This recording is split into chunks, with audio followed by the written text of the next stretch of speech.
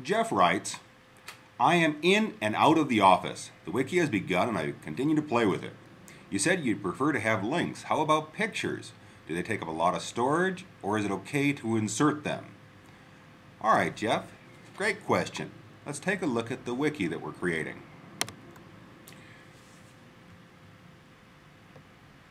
Here we are on the Ecotourism NZ page. If we want to edit this and add a photo, in the most effective manner. We're going to click Edit. We're going to figure out where we're going to add the photo. For example, you have these two images, um, the land of sunsets and this beautiful um, scene, excuse me.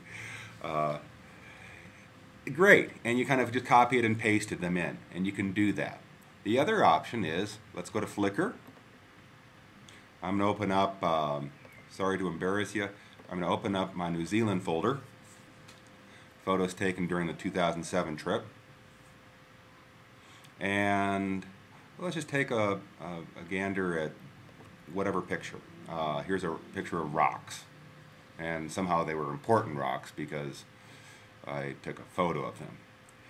So, click all sizes and I'm going to click medium. Now these, this is my photo, my Flickr account, so I can do this. You can do something very similar. What we're looking for is code. And for example, here is the code. Copy and paste this HTML.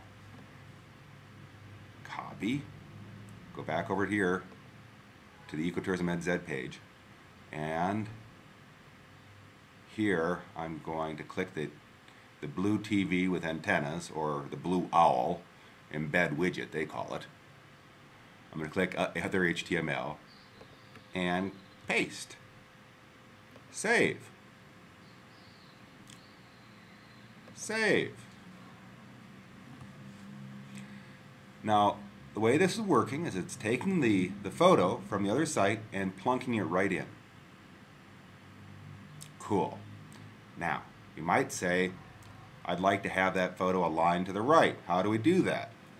All right. I'm going to go into this again, edit, click other widget.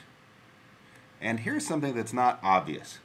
I'm going to type in, in the widget code, align equals right. Clean that up. Save. Save. And there you go. Is it perfect? By no means. But it's a really good start. And any good wiki is, well, like a garden. It will only get better next year if you tend to it. Have fun.